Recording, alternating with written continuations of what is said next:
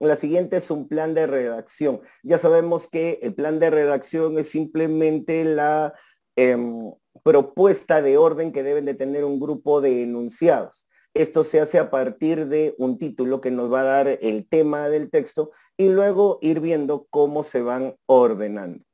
Entonces, en este ejercicio se propone que se inicie con un enunciado causal, que sería el enunciado número dos. Un grupo de expertos se encontró en el interior de una cueva, el que al parecer es el collar más antiguo del mundo. Eso da origen a todo.